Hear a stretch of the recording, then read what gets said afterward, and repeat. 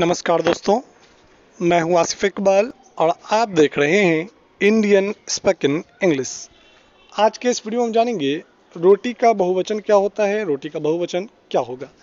तो रोटी का बहुवचन होता है रोटियाँ रोटियाँ। आज के इस वीडियो में इतना ही। फिर मिलेंगे एक नए वीडियो में। तब तक के लिए चैनल को सब्सक्राइब करें, वीडियो को लाइक कर दें और बेल आइकन को प्रेस करना ना भूलेंगे। धन्यवाद।